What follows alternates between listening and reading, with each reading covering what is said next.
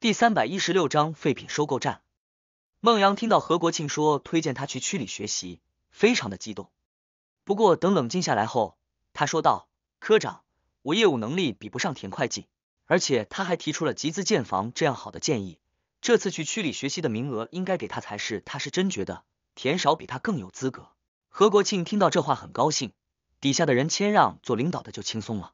本来我是想举荐田会计去区里学习。但他说你工作更认真，不像他总请事假，他觉得让你去才公平的。孟阳很感动，也没有再推脱。何国庆笑着说道：“周日就去区里报道，下周一开始学习，为期一个月。希望你好好把握机会，学有所得。”孟阳出来以后就跟田韶道谢，若不是田韶谦让，这机会也落不到他头上。田韶笑着说道：“不用谢，我们三个人，你是最适合的。我跟赵会计隔三差五请事假。”要真去了，就是你没有意义，厂里那些人也会有闲话的。赵小柔很不客气的说道：“田勺，你自己总请假，别扯上我。”田勺抿嘴笑，不跟他呛。他每次去省城都是有事，这姑娘去省城就是玩乐，而且最长一次还推迟一个星期来上班。也就他了，换其他人绝对通报批评。周日，田勺正在院子里活动四肢，外头就响起你敲门声，听到是三魁的声音。田韶这才去开门，然后就看见三魁挑着一单的东西，左边是被褥，右边是木桶等物。田韶笑着说道：“东西都拿回来了。”三魁笑着说道：“没有，还有一些小东西没拿回来，我现在就折回去拿。”表姐，你给我留饭啊！因为要去废品收购站买东西，田韶没让二丫回去。这姑娘以前日日盼着进城，结果现在进城里工作，却特别喜欢回家。问她。就说跟城里人合不来，早晨吃的很简单，就白米粥粥配红薯，再配了酸豆角跟咸菜，另外还有一个蛋。三魁吃了两碗粥跟三个成人巴掌大的红薯，至于鸡蛋，一口就给他干掉了。好在李大舅知道他食量过人，每个月会送一袋子粮食来。吃完以后，三魁呼出一口气，还是家里的饭菜好吃，运输公司食堂的那些饭菜比他娘做的还难吃。不过他只心里暗暗吐槽，可不敢当住厂里职工抱怨。田韶笑着说道：“以后你中午在公司吃，早饭跟晚饭在家吃。因为自小感情好，加上田韶对他也颇为照顾，所以三魁来这儿就跟在家一样。二丫倒也没什么不满的，一来房子不是他的，二来他也感激李大舅当初对家里的帮助。之前反对三魁住进来，不是讨厌他，单纯就是怕影响名声，嫁不到好人家。吃过饭，三人就去了废品回收站。来了快一年了，田韶还是头次到这儿来。什么时代都不缺精明人，收购站也就一些旧报纸跟书以及家具等东西。淘好东西，想什么呢？旧家具堆积在一个木棚子下面，都是缺胳膊断腿的，想拼凑出一张床都不行了。三魁摇头道：“姐，这些都用不了。”田韶看到角落里那只缺了腿的圆桌，莫名觉得眼熟。走近一看，圆桌黑红色的上头雕着兰花。这圆桌分明就是姚二妹家的。田韶问了守门的大爷，墙角那些家具是不是从纺织厂家属楼收的？这位大爷眼皮都没抬，说道：“不知道，要就付钱拿走，不要的话就赶紧走，别在这儿吵我老人家。”这可真是位大爷。田韶赶紧从挎包里拿了一根大前门塞给大爷，结果这老大爷推开道：“去去去，小小年岁不学好，老头子我不稀这个啊，还是个。”言犹不尽的，行吧。田勺让二丫跟三魁将这圆木桌挪出来，没想到这圆桌特别重，两人费了老鼻子劲才抬出来。二丫累得一头汗，她擦住汗说道：“大姐，这桌子太笨重了，而且也没地方放。这意思是让他别买了，用不上。”田勺挺喜欢这种古朴的家具，他问了三魁：“你也跟大舅学了木匠活，知道这是什么木料吗？”李三魁很实诚的摇头，表示不知道。田勺将那些旧家具看了一遍，除了这圆木桌外，其他的都用的普通的木料。大爷，这圆桌多少钱？守门的大爷看了一眼这桌子，说道：“两块钱。”二丫一听，顿时就炸了，喊道：“这桌子缺了一条腿，根本用不了，还两块钱？你怎么不去抢啊？白送给他，他都不要。”三魁也觉得太贵了，说道：“大姐，你要觉得家里的桌子不好。”到时候让我爹给做一个。那守门的大爷一听就笑了，说道：“人不大口气，倒不小。让你爹做一个。你知不知道这是什么木材的？这是红酸枝木，以前只有大户人家才用得起这样的木料。若不是缺一条腿，二十都不止。在田勺的认知中，最好的木料是紫檀木、沉香木以及黄花梨木。不过这桌子纹路还挺漂亮的，田勺觉得拿回去修下放院子里挺不错，省得吃饭时搬来搬去不方便了。二丫可不管红的黑的，他就觉得两块钱买个破桌子太亏了，这都断了一条腿，拿回去也只能当柴烧。大姐，有钱也不是这么用的，咱们回去吧。田勺才不听他的。花两块钱将这只红木圆桌买下来了，因为太笨重，费了九牛二虎之力才弄回家。二丫虽觉得不值，但田勺付了钱后就不敢再唧唧歪歪了。他现在学乖了，不敢对田勺的事指手画脚了。万一惹得大姐真厌了自己，可就转不了正了。将桌子放在院子里，然后田勺又带他们折返回废品收购站。没办法，现在没有旧家具店，别人不用的都是拉到废品收购站的。李三魁看不上那些旧床，都缺胳膊断腿的，买它干啥？他说道：“姐，反正爹说了会给我做一张床，咱就不费这个钱了，买几块木板回去拼凑下就行。反正现在六月份热的不行，打个的铺睡也没问题。”第三百一十七章首饰，东西买好了，二丫就说要回去。田勺奇怪了，问道：“你每周日都回去做什么？家里有什么让你放不下的？”二丫很想对他两句。不过对上田勺的眼神就不敢了。我想爹娘跟三丫了。大姐，你已经接连三个星期都没回去，爹娘都说想你了。田勺不想回去，他对田家村是一点都不惦念的。他们要是想我，就周日带了三丫他们到县城来住两天好了。反正现在也有两间屋住得下。田大林跟李桂花才不愿意在县城住，除了水以外，啥啥都要钱。三魁说道：“表姐，柴火不够了。”我跟二丫回去弄点柴火来吧。去吧去吧。等两人走后，田勺拿住书在屋子里看，突然砰的一声，将田勺吓了一大跳。抬头看去，原来是桌子没放好，倒在了地上。田勺自言自语道：“这个二丫做事也太粗心了，放个桌子都放不好。”走过去，本来想将桌子扶起来，只是俯身的时候发现断腿旁边有个凹槽，田勺用力按，没反应。田勺进屋取了军刀来戳这个凹槽，还是没反应。犹豫了下，他找了工具，小心的将这桌子拆开，拆了一块木板下来。田勺看到有片红，他精神一振，在拆的时候越发小心了。拆下四块木板后，田勺将这红色的绸布从里面取了出来，打开一看，这绸布里包着的是金项圈、金项链、金手镯、金锁片等首饰。除此之外，还有一块玉佛，这玉佛晶莹洁白。细腻滋润，拿在手中有一种温润的感觉。田勺非常高兴，这原木桌子可是从姚二妹家流出来的。若是他知道原木桌里藏了这么多的金子，估计会吐血而亡了。至于说这些东西是姚二妹的，那是绝不可能的。玉家祖上往上数五代都是贫农，玉父当年运气好进了纺织厂，走了学徒，而姚家更是穷的叮当响。这原木桌。估计是当年姚二妹从哪户有钱人家里顺的，结果现在便宜了他。田勺将玉佩拿出来，其他的还是用红绸布包住。傍晚，二丫跟三魁回来了，发现原木桌不见了，只剩下一堆碎木块。两人面面相觑，最后还是三魁开口问：“表姐，你怎么将桌子劈了？”田勺早就寻好了借口，说道：“我刚才突然发现这原木桌是姚二妹家的，觉得晦气就劈了。想着田勺之前受的罪。”二丫也不敢再说他浪费钱了。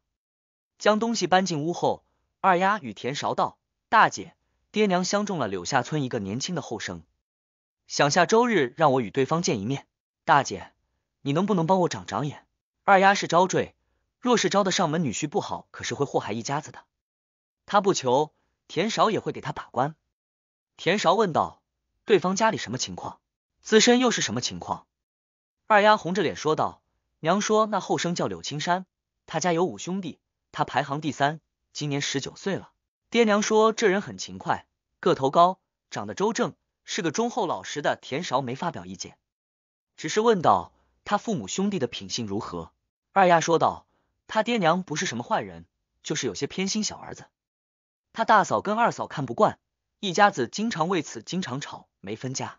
二丫摇头说道还有三个儿子没结婚，哪能分家呢？他们要敢闹分家，还不得被村里人的唾沫星子淹死？田勺觉得这家人的家风不好。不过这事二丫相看，还是得以他的意见为主。你的意思呢？二丫也知道人多是非多，这一家子不和睦，以后会很麻烦。只是他也有顾虑，说道：“我是招赘，不是嫁到他们去，倒也不用担心被他两个嫂子欺负。”田韶突然想起一件事，招赘的话是女方要给男方家一笔礼钱，对吧？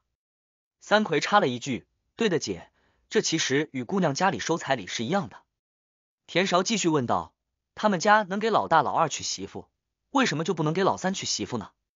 是不是他父母不重视他，所以想让他入赘的一笔礼钱？”二丫摇头，表示不清楚。田少想了下，说道：“爹娘既然乐意，那对方肯定有可取之处。你先见一面看看，若你觉得好，我倒再见他不迟。若二丫都不满意，也别浪费他的时间了。”第二天上班时，田少故意板住脸，办公室另外两个人一看就知道他心情不好了。赵小柔惯常不怎么说话，刘婉儿也老实的跟鹌鹑一样。赵小柔领导跟刘婉儿去吃吃午饭的空档，小声问道：“你今天怎么了？”板住一张脸，现在应该没人敢惹你才对。田少咧开嘴笑，露出了一口白牙。我昨日去废品收购站想买张旧床，看到姚二妹家的原木桌在那，我觉得这桌子放跟家里家具相配，就买了。没想到在桌子里发现一包金首饰，赵小柔笑了起来。大白天说什么梦话呢？田少满脸笑意的说道：“这么大的事，我能跟你开玩笑？小柔姐，我想将这些金子都换成钱，不知道你有没有门路？”赵小柔看他说的跟真的一样，你确定不是在做梦？我明日就将那些首饰给你。赵小柔顿时知道此事是真的。哎，这事怎么那么玄幻了？你现在又不急住用钱，这金首饰还是留着吧。现在金价涨得比较厉害，你要换了就亏了。田韶听到这话，想起一件事，那就是七十年代国际上金价涨的是很猛，好像十年内涨了十多倍。国内金价猛涨，应该也受此影响。不过知道也没用，他一没本钱，二没渠道。田韶摇头道：“我现在急用钱，你要有门路就帮我换了，有多少？估不准，上称就知道了。”赵小柔觉得很神奇，说道：“李爱华总说你运气好。”我还不信，现在看来是真的。说吧，你到底要干什么？需要这么多钱？田韶说道：“不是跟你说了吗？我想做个生意，这生意虽是一锤子买卖，但前期投入成本很大。就这金子卖了，还差一大截呢。可惜你没钱，不然你可以跟我一起赚大钱了。”赵小柔说道：“我就算有钱，也不敢跟你瞎胡闹。”他花钱如流水，好不容易攒下的五百块钱还给了田韶。当然。就算有钱，他也不投。一是做生意风险大不稳当，二是有钱该好好享受，赚大钱，他可不做这个梦。第三百一十八章全能的大舅。周三，李大舅与李大奎两人扛着床来了。田韶下班后看到那床，按到现在的人真是能吃苦。李大舅一见到田韶后就问了：“大丫，三奎在运输公司怎么样？都还好吗？”田韶笑着说道：“之前被人欺负了。”因为对方是领导的儿子，被打了也不敢还手。我知道后带他去对方家里走了一趟，现在厂里没人敢欺负他了。那些人知道李三奎是他表弟，而且还是他找关系弄进去的，现在哪还敢惹他？李大舅听了暗松了一口气，三个儿子就老么最实诚了。这些日子他生怕三奎被欺负被人带坏了，好在外甥女能给他撑腰，倒是放心了。李大奎问道：“大丫，三奎公司不是提供住宿吗？”怎么还让他住这儿？田少表示这是自己的主意，让三魁住在这儿，一来可以帮我们前一些重活，二来公司的宿舍太热太吵睡不好，三来他现在去夜校学习，住在我这儿，有我盯着也会认真学。李大奎也有跟二丫一样的担心，三魁毕竟年岁大，住一块怕会被人说闲话。田勺翻了个白眼，一个个的都是老古董，大表哥，在我心里三魁就跟亲弟弟一样，别人要就此说闲话。背地里说就算了，若是敢当面说我扇他大嘴巴子，也是现在大家孩子多，到八九十年代工薪阶层家基本都是独生子女，这表姐弟其实与亲姐弟没差别了。李大舅很高兴，扬声说道：“二丫说的很对，咱行得正，坐得端，怕什么？二丫，你舅母知道你爱吃酸豆角，特意让我带了一罐子来，大舅妈腌的酸豆角，不管是炒肉末还是配粥吃都很美味。”田勺道谢了以后。问起大宝念书的事。大舅拿搭在肩膀上的毛巾擦了下脸上的汗，笑着说道：“这事我已经跟你爹娘说了，开学就带大宝去报名，到时候先在你家借住，等明年我家房子砌好了，就让你外婆留在田家村带孩子。那房子准备怎么盖？还跟之前那样盖四间屋吗？”李大舅笑着道：“对啊，先盖四间。怎么，大丫你有更好的意见吗？”最开始是受原生的影响，想要报答李大舅一家，但接触以后发现李大舅豁达。开明真的是个非常好的长辈，所以田少也希望他以后能好。田少说道：“二表哥私心太重，哪怕你说了以后三魁娶媳妇盖房子不插手，二表哥也不会相信的。所以我觉得大舅你最好盖两栋房子，大表哥跟二表哥一人一栋，盖了两栋房子，基本不会再有剩了。”李大舅看住大儿子，见他没吱声，心直接往下沉。大奎，你也觉得我以后会暗中贴补三魁？李大奎忙解释道。爹，三魁还是个小孩子，什么都不懂，不能因为有工作咱就聊开不管。只是二奎他，爹还是按照大丫说的做吧，不然二奎跟他媳妇总觉得自己吃了亏。他在你跟前抱怨了。李大奎说起这事就来气，他没跟我抱怨，但弟妹跟我媳妇暗中念叨了好几回，还挑动我媳妇跟娘说，爹还是分开吧，你们累了一辈子，也该歇息了。也亏得他媳妇心眼实。觉得这工作是大丫点名给三魁的，他们不该争，不然被弟媳妇这一挑拨，真跟娘吵了，还不得将娘气坏了。两件事下来，李大奎现在对李二奎夫妻很不满，也想跟他们分开了。三五个月挑拨不成，但三五年呢？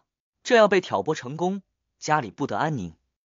李大舅并不知道这些事，闻言脸色非常难看。田韶却觉得这个大表哥是个明白人。大舅以后跟住他们夫妻生活不会差的。大舅，树大分叉，人大分家。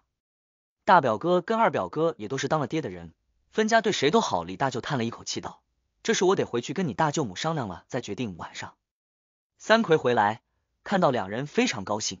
虽然城里很好，但他还是忍不住想家，想父母跟奶奶。只是他自诩是男子汉，怕二丫笑话，平日不敢表露出来。李大舅看住憨憨的猛儿。心里决定将这家分彻底了。吃过晚饭，李大舅闲不住，将堆积在角落的柴火跟木板垒起来，结果就发现七零八落的木板竟是上等的木料。大丫，你从哪弄来的这些木头？这可都是好木料啊！废品收购站的，本来是一个圆桌，因为是姚二妹家的，被我用斧头劈了。李大舅笑着道：“姚二妹是可恨，但东西又没罪。这木头做家具非常结实，放几百年都不会坏。田勺不后悔劈了这家具。”毕竟收获巨大，李大舅觉得烧掉太可惜了。他说道：“大丫，你这儿也没有矮凳，我用这些木料给你做几个矮凳吧。”田勺觉得大舅全能型的，啥都会。不过因为这儿没有工具，李大舅将用得上的木板挑出来，然后叮嘱几人别烧掉。知道李三魁周日是没课的，李大舅说道：“以后周六傍晚回田家村，周日帮你姑父姑母干活。”别留在这儿发懒，他觉得欠田勺这么大的人情，别说只是帮着钱重活，就是让三魁给田大林夫妻养老送终都是应该的。不过知道二丫要招赘，这话他只跟三魁嘀咕两句，没对其他人说。三魁笑着道：“行，以后周六我就跟二丫一起回去。田勺没有异议，年轻人嘛，只要不是超负荷的干活，多劳动还能增强身体素质。”第二天中午，田建乐来找田勺说道：“大丫。”我婚期定下来了，在下周的周日，希望你到时候能来参加婚礼。田勺一口应下，然后笑着问道：“对了，建乐哥，玲玲是不是跟人处对象了？”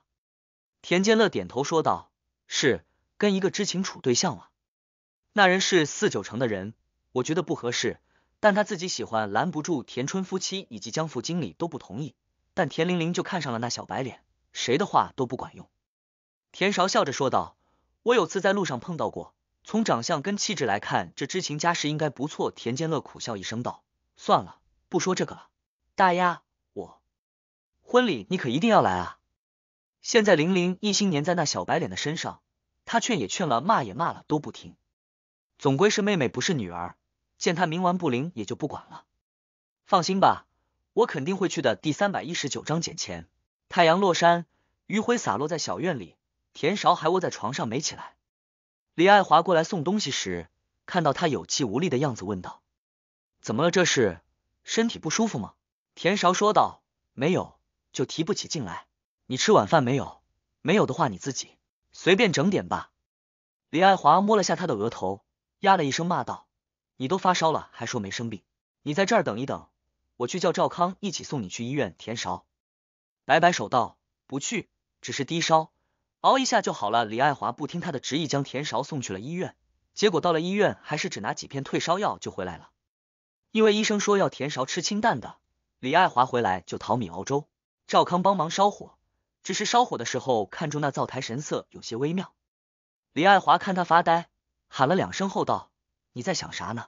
火都快灭了。”赵康赶紧塞了几根柴进去，然后说道：“我在想刚结了的案子，当时疏漏了一些细节，不然能更快破案了。”李爱华一听，立即道：“案子的事别跟我说，以后在家不要谈公事。天大黑二丫跟三魁回来了，因为五点就要去食堂干活，除非有事，不然二丫都是晚上赶回来。”看到开门的是李爱华，他很纳闷的问道：“爱华姐，我姐呢？”听到田勺发烧，两人准备进屋，被李爱华给拦了。你姐刚吃了粥，已经睡下了，别去吵她。那几片退烧药拿回来，田勺也不吃，说希望靠自己扛过去。李爱华拗不过他，只能随他了。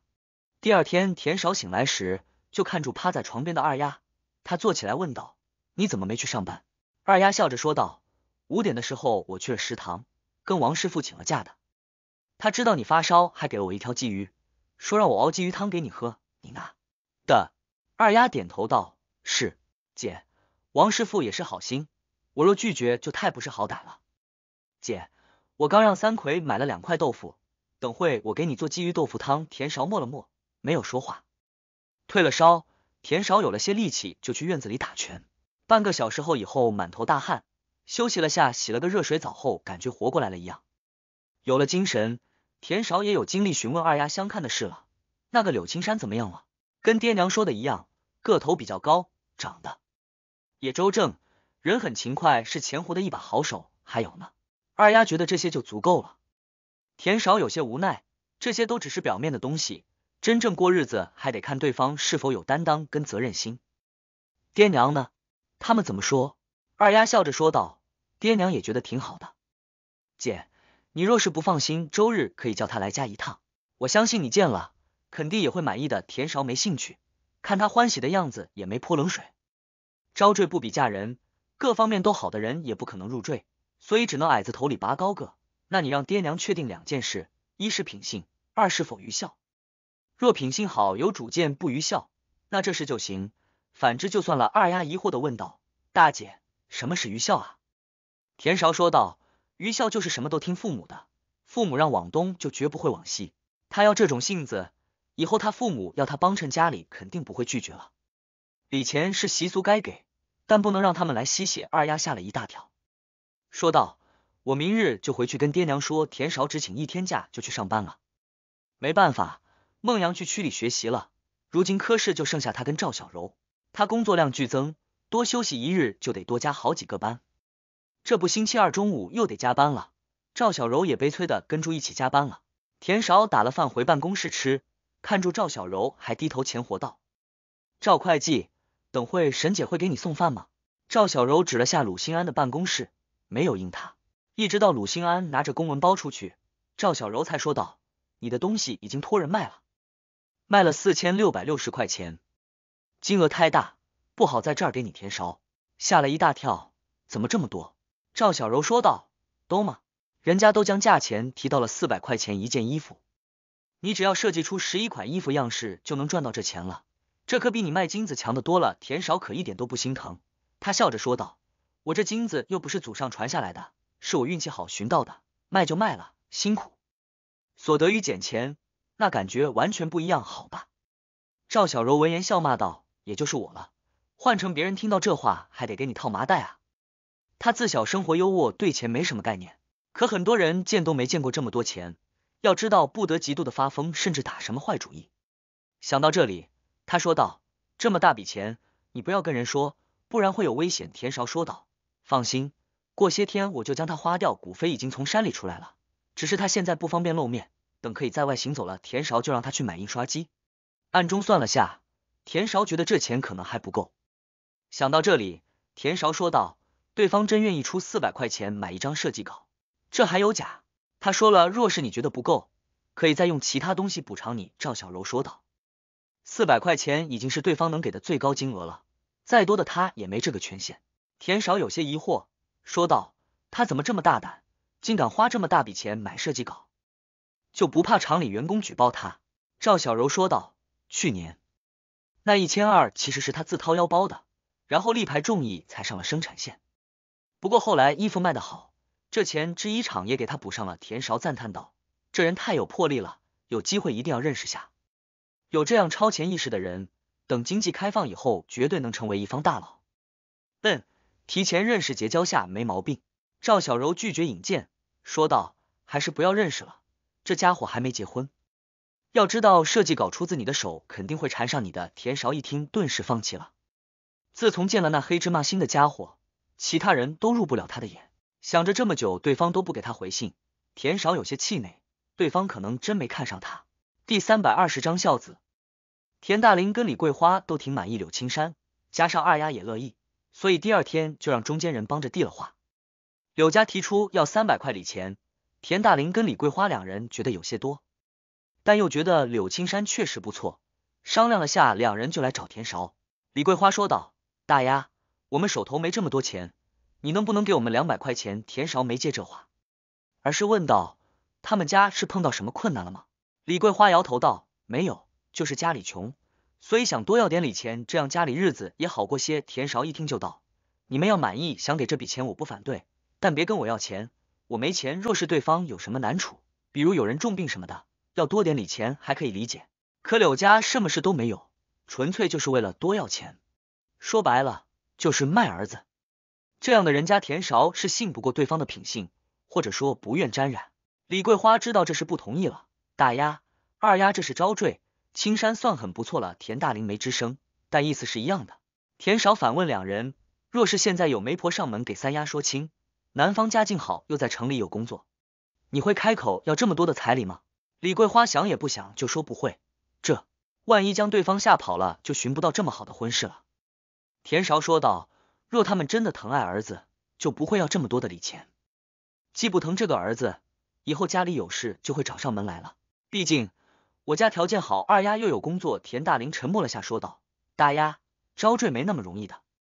之前也有人来说亲，但那些人条件都不如柳青山。田勺觉得他们太着急了，而且姿态也放得低。爹，你们跟二丫若执意要定这个柳青山，我没意见。不过。”我不会管这件事的，她只是姐姐，又不是亲娘，管这么多干啥？夫妻两人纠结了下，说道：“大丫，要不你见家青山那孩子？大丫，那孩子是真不错。二丫什么样，他们夫妻还能不清楚？识力气的事是没问题，其他就不行了。以后成家有了孩子，碰到个什么事，还得靠田勺帮衬。”田勺摆摆手道：“你们决定就好，不要再跟我说。”夫妻两人有些纠结，最后让二丫拿主意。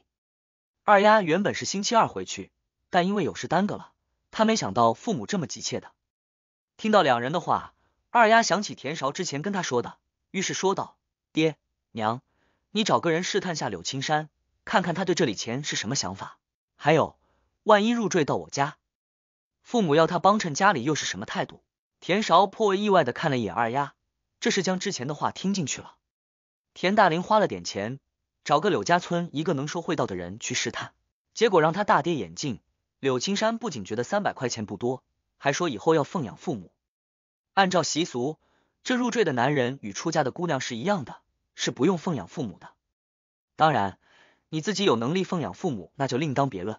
这下不用再考虑，田大林直接回绝了。不想田家这边一说不愿意，柳家那边立即改口，说给一百的礼钱也行。若是一开始柳家说要一百的礼钱，田大林跟李桂花或许不跟田勺说就答应了。但现在知道柳青山的性子，柳家不要礼钱，他们也不会同意。这周的周日是田建乐结婚的日子，田勺跟三魁他们一起回了田家村。第二天一大早，田大林夫妻就带着二丫过去帮忙了。至于田勺跟三丫几人没去，村里人多一家去两三个足够了。三魁与田勺道：“姐，六丫说想吃鱼。”我带他们去河里抓鱼，田勺看他蠢蠢欲动的样子，笑着道：“可以，不过不能让他们下水，还有你自己也要注意安全，在屋里看书看累了。田勺到隔壁看三丫还在那认真的做衣裳，这衣裳是他接的活，报酬是两毛钱跟二十个鸡蛋。田勺看他聚精会神，连自己进屋都没察觉，觉得缝纫机也该提上日程了，不然一直低着头做衣裳，对肩椎跟眼睛都不好。不过这话他没说，他现在的钱得省住点用，到明年再给他一个惊喜吧。三魁带着三个小的去河里捉鱼，两个小时提了半桶鱼回来。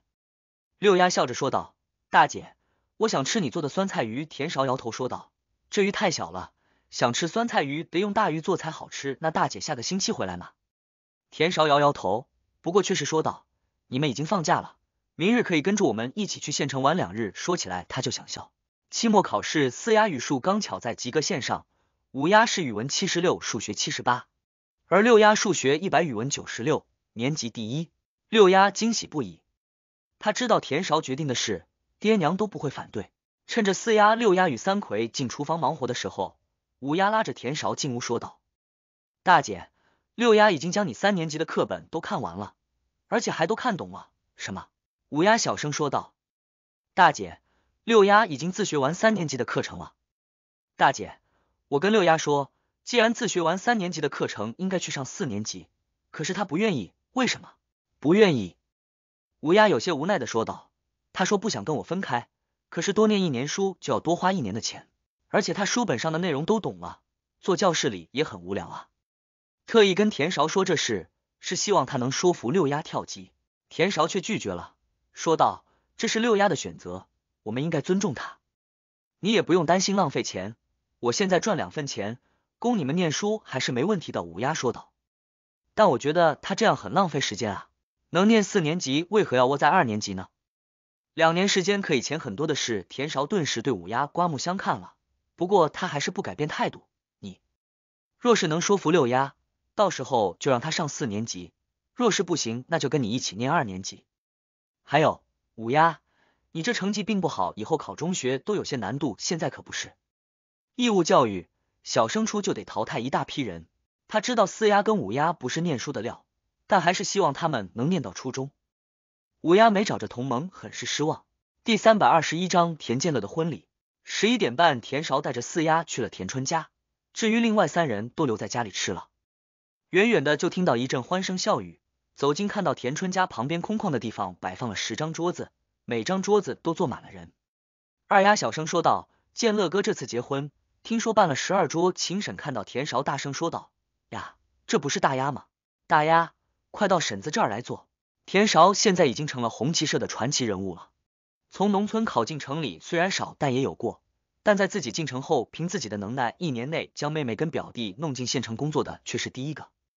很多人都扼腕，为啥自己没这么个亲姐、表姐呢？田勺看住他旁边都坐满了，压根就没空位置。不过他也没说出来，扬了扬手里的东西，他笑着道：“谢谢秦婶，我先将东西拿进去。”有个大娘看住他拿着的袋子。问道：“大丫，若不是建乐跟玲玲，你当日也进不了纺织厂。这次建乐结婚，你随便送点东西可不行。”四丫听到这话就不乐意了，大声说道：“你怎么不说若不是我姐田玲玲已经死了呢？而且当日他们只是是将纺织厂招工的消息告诉我姐，又不是将她弄进去工作。说起来，田玲玲还欠了我姐一条命呢。”田勺拉了下他道：“人家大喜的日子。”不要说这些不吉利的话，大娘还待说。旁边一位大婶子拦住了他，大丫，你快进去吧，等菜上了，他们要敬酒，就没时间跟你说话了。田勺道了谢，就拉着四丫进了田春家。这位大婶子没好气的与那位大娘道：“三婶，今天是建乐大喜的日子，你故意说这些做什么？要闹得不好看，到时候田春大哥一家子还不得埋怨你？”这位大娘道：“我就看不惯他这得意的劲，说是看不惯，其实就是嫉妒。”想以前田大林家多穷，特别是那四丫又懒又馋还脏，结果现在呢？收音机听着自行车骑住，那懒丫头也穿出一身新衣裳，衬得他们可怜兮兮的。大婶子没好气的说道：“村里种的那些果树可都是大丫弄来的，你既看不惯大丫，等过两年果树挂果了，你别吃。”大娘不服气道：“这是队里出钱买的，我凭什么不吃？”大婶子不愿再理他。田勺并不知道这些人的争论。当然知道，也不放在心上。进了田春家，就看住穿住一身灰色衣裳、扎住麻花辫的田玲玲。此时他正在招呼客人。呀，大丫来了，快进屋坐回。田勺笑着道：“建乐哥跟嫂子呢？我买了点礼物送给他们做新婚礼物，礼金他之前让李桂花跟住一起交，为这李桂花还念叨了呢。他们又没分家，一份礼就行，哪还需要送两份礼？”田玲玲看住他手里的布袋子，笑着道：“我三嫂在屋子里，我带你进去。因为张慧兰是外地人，所以只是摆酒而没有去接亲这一环节。”此时张慧兰正跟人说话，听到田玲玲叫她，才抬起头，一见是田勺，她条件反射挺直了腰。田勺看住张慧兰，穿住一身红色的衣裳，头发挽起来别住朵红色的花，上了妆，还抹了口红，在一众灰扑扑的人群中显得跟仙女似的。不过跟李红星比还是有差距的。田韶夸赞道：“张姐，你今天好漂亮。”张慧兰听到这话，脸上露出了真切的笑容。谢谢，将布袋子递过去。田韶笑道：“嫂子，新婚快乐，这是我的一点小心意，希望你能喜欢。”张慧兰接过去，随手交给旁边的一个姑娘，笑着道了谢。屋子里人挺多，田韶将礼物送出去后就走了。那接了布袋子的姑娘打开一看。发现里面放的是一套百雀羚护肤品，很是意外。慧兰姐，这姑娘穿的这么寒酸，出手可真大方，一套百雀羚要她近半个月工资了，倒没想到乡下一个村姑都比她有钱，真的是卧虎藏龙。本还瞧不起张慧兰嫁个乡下汉子，这会也收起了轻视之心。张慧兰看了一眼，说道：“她在县城上班，她现在就希望早日打开国门，这样就可以用海蓝之谜。”雅诗兰黛以及 SKEI 这些大品牌的化妆品，而不是像现在这样只能用百雀羚跟雪花膏等廉价的东西。他堂妹还想问，张慧兰却是岔开了话题，说起了其他。田勺一出去，四丫就朝住他招手：“大姐，这儿这儿还有座位，坐下来没？一会吉时到了，虽然现在讲究婚礼从简，但拜父母这一步骤还是没省的。不过现在不用磕头敬茶，只要鞠三个躬就行。”新郎新娘行完礼回了房，厨房那边就开始上菜了。好家伙，四荤四素一汤，鸡鸭鱼肉都齐全了。梅菜扣肉跟土豆焖鸡两个大荤菜一上桌，桌上的筷子顿时打起了架。田勺没跟他们抢，就只加了红烧豆腐吃。就是四丫给他加了一块鸭肉，他都没要。你自己吃，不用管我。他想吃买就来做就是，何必跟这些许久没吃到肉的人抢？吃了一半，新郎跟新娘来敬酒。看住田建乐穿住一身中山装，七月的天穿成这样，田勺都替他热。不过他只看了一眼就垂下眼帘了，省得情绪过多又引来八卦。张慧兰这女人目光短浅，心胸狭小，还是远离为妥。田建乐给这桌人的敬酒以后，还单独与田勺说了话：“大丫，既然来了，就不要客气，一定要吃好喝再回去啊。”原本以为田勺不会来参加他的婚礼，现在来了，他还是很高兴的。张慧兰挽着田建乐的胳膊，朝住田勺笑，这模样旁若是在宣示主权。田建乐跟其他姑娘的事他不介意，就算那个杜思怡他都没放在眼里，唯独田勺让他有危机感。没有理由，只是女人的一种直觉。田勺笑着应下后说道：“建乐哥，希望你跟嫂子早生贵子，争取三年抱俩桌子上有个四五岁的小孩。”听到这话，双手拍着巴掌喊道：“三年抱俩，三年抱俩！”这话一落。哄堂大笑。吃过饭，四丫跟住田勺回去，在路上，他捂住圆滚滚的肚子说道：“大姐，这菜一点都不好吃，白下了那么多的肉了，你都吃撑了，还不好吃。”四丫一边揉肚子，一边哼哼道：“我家可是送了两份礼，结果三姐跟五丫他们都没来吃席，我肯定要多吃点了，不然太亏了。这般说好像也没毛病。”第三百二十二章请求。吃完席面。李桂花端了一碗梅菜扣肉回来，田勺看了一眼，说道：“娘，咱家这条件没必要跟大家抢这一碗肉，这次就算了，以后别再要了。”李桂花心里清楚，哪里是不要跟村里人抢肉，分明是这丫头嫌弃肉是留下的。哎，不吃别人的剩菜，不碰别人用过的东西，也不知道哪来的毛病。田勺午觉一醒来，就听到姨父跟姨妈来了。三丫小声说道：“姐，姨父跟姨妈来了。”好像是集钱买布啥的，我也没听清楚。娘说现在是你当家，得问你的主意。因为田勺刚在睡，家里人都知道他午觉睡半个小时左右就没叫醒他。田大林与牛忠两人性情合得来，在堂屋聊着天。至于李桂花，则在厨房忙活，李春花在里面帮忙。牛忠跟田大林是同辈，能开口借钱，但田韶是晚辈，他张了几次口都说不出借钱这两个字。田少主动问道：“姨父，有什么事你只管说。”牛忠心头一松，最近给草根相了个姑娘。姑娘家要八十八的彩礼跟八尺八的布，彩礼钱我们家拿得出手，但布却难弄到。大丫，你在纺织厂工作，不知道能否帮忙弄到布？田少蹙了下眉头。现在农村谁家能一口气弄到八尺八的布？分明是故意刁难。不对，不是故意刁难，应该是在试探，试探姨父与自家的关系。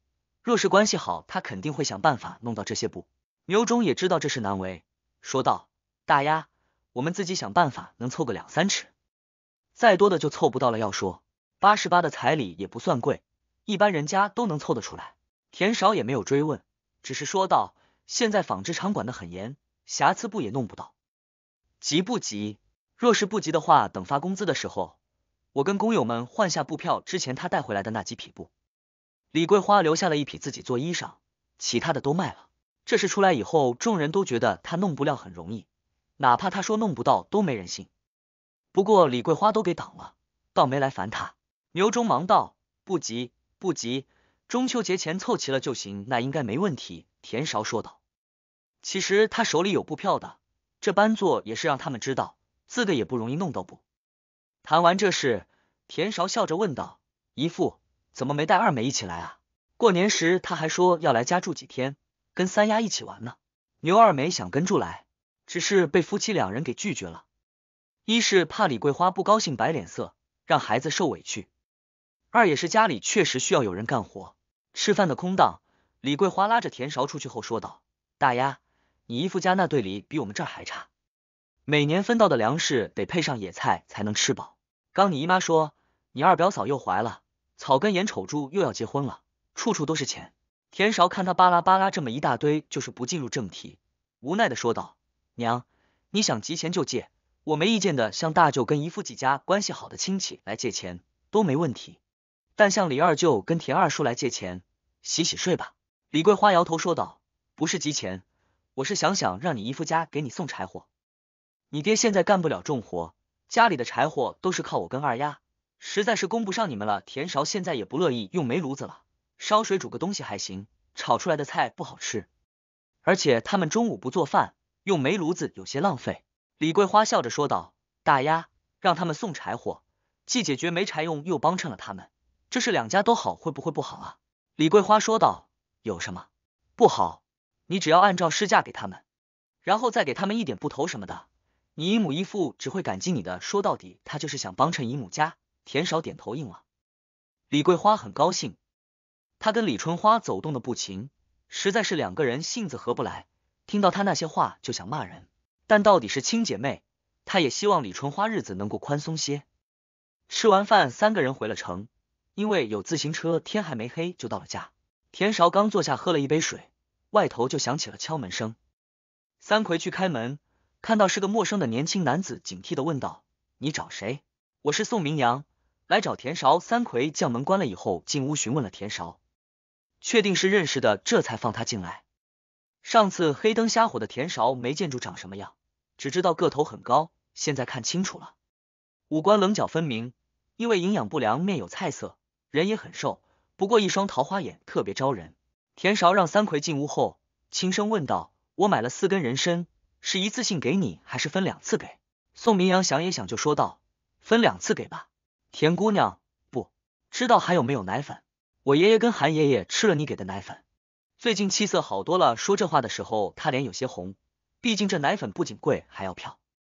田勺笑着道：“有，我买了三罐，另外还有五斤红糖跟两斤奶糖。”宋明阳纠结了下，还是说道：“粮票能给我一些吗？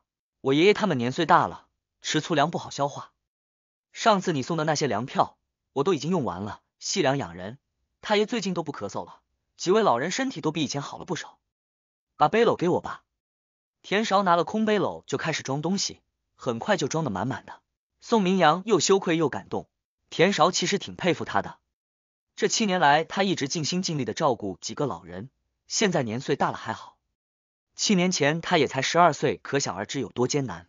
将东西递给他以后，田少小声说道：“宋明阳，我有件事想求你们帮忙。”两次东西给的东西合起来都大几百块了。宋明阳正内救助，听到这话，他忙：“田同志，什么事你说？”田少就将自己的需求说了下，说完后道：“若是可以，我希望你爷爷他们能多给我出一些习题。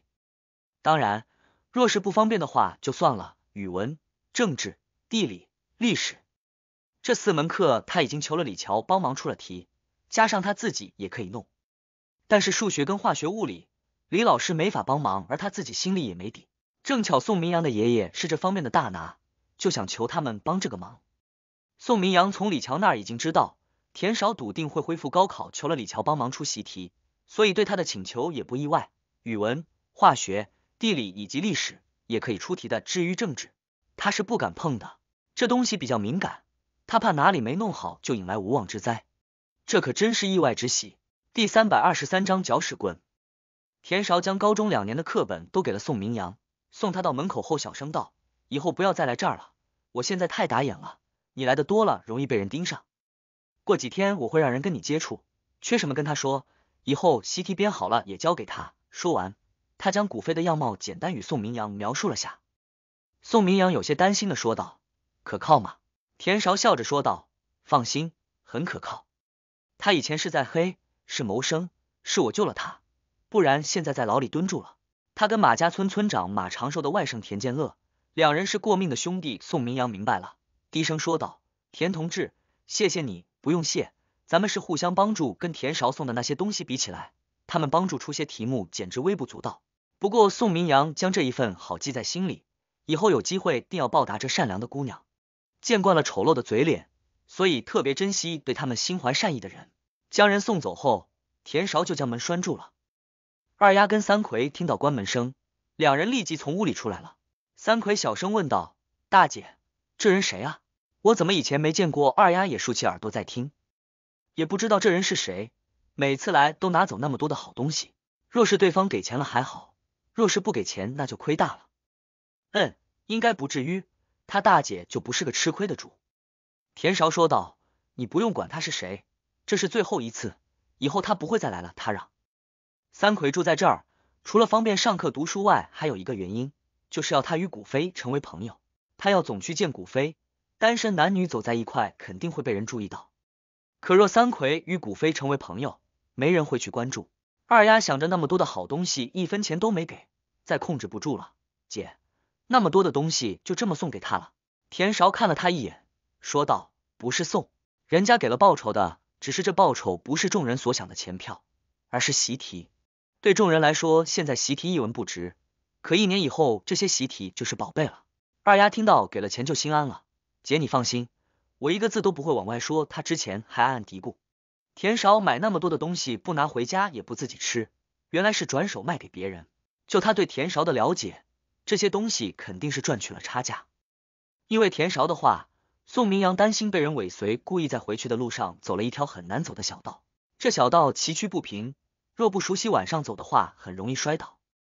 路上很顺利，只是在快到村里的时候，听到了茂密的草丛里传来粗重的喘息声，宋明阳都不敢退回去。就在旁边找了个地方躲了起来，等这对男女离开了，他都不敢走，还趴在原地等了好一会才回去。谨慎已经可在他骨头里了。宋老爷子看到他衣服上沾了泥土跟枯草等脏东西，担心的问道：“是路上遇见麻烦了吗？”宋明阳点头道：“路上碰到了两个人，躲了一会。爷爷放心，没被他们发现。这次田勺没给大米，但其他东西很多，除了滋补的药材外，还有三罐奶粉。”三罐麦乳精，一大包奶糖，一大包红糖，与上次一样，还有个厚厚的信封，里面装着一百块钱跟粮票跟工业票。宋老爷子很是忧心道：“这姑娘哪来这么多的钱啊？这两次光钱就给了两百，还有药材跟其他东西，加起来有四五百块钱了。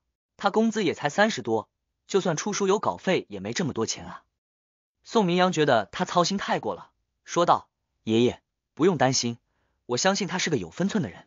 对了，爷爷，他想请我们帮助出些习题，巩固下所学的知识点。爷，你多帮他出点习题吧。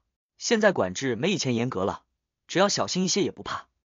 宋老爷子笑着道：“行，我给他出许多的题，只希望到时候别叫苦。”见他竟开起了玩笑，宋明阳心里高兴的不行。古飞怕引人注意，回了县城，只晚上会出来走动下，白天都窝在家里。听到田韶要他跟宋明阳暗中接触，他很是高兴，终于有事前了。过了几日，古飞就去找了田韶，与他说了一件事。田韶，马村长想将小女儿许给宋明阳，宋明阳拒绝了。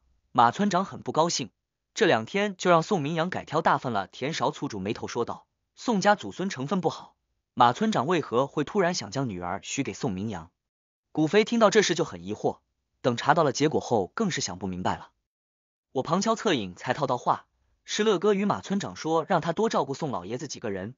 马村长听了就想结亲，若是宋明阳愿意，那是皆大欢喜。现在人家不愿意，你这样逼，那就不是结亲，而是结仇了。不过是田韶让他接触的宋明阳，所以也不敢擅作主张，决定先过来询问下他的意见。得了，不用说也知道是张慧兰这个搅屎棍鼓动的田建乐。他知道张慧兰是想雪中送炭，得到宋老爷子的好感，想法是好，只是将事情想的太简单了。想着他干的这些事，田韶也能理解了。古飞见他不吱声，问道：“田韶，这事咱们不管了吗？管是肯定要管的。”可不能让马家的人祸害了宋明阳。田韶说道：“这事得让建乐哥知道，但是却不能由你去说。而且我让你做的事，更是一个字都不许透露给他。”古飞有些愕然，这话分明是在防备住乐哥了。田韶，你是不是跟乐哥有什么误会？田韶沉默了下，说道：“我跟建乐哥之间没有误会，一直以来我都很尊敬他，敬佩他。但是我不喜欢张慧兰这个女人，目光短浅，心术不正。”跟这样的人沾上关系，铁定要倒霉啊！古飞没想到田韶还迷信，田韶看他表情就知道不信了。我有次正巧碰到张慧兰来找建乐哥，那时他就表现出对建乐哥志在必得。我提醒过建乐哥，这女人心术不正，对他态度热络，肯定是有目的。我若是猜测的不错，张慧兰应该是用生米煮成熟饭这烂招，让建乐哥改变想法的。至于为何见乐哥没生气，反而乐呵呵的办喜酒，我就不清楚了。但这足以表明，这女人是个为达目的不择手段的人。这个古飞知道。他说道：“乐哥喝醉了酒，与张慧兰有了夫妻之实。但张慧兰说不用乐哥负责任，就当这件事没有发生过。后来乐哥去找他，他还避而不见。田韶觉得，张慧兰若是将这份心思放在事业上，不愁成不了富婆，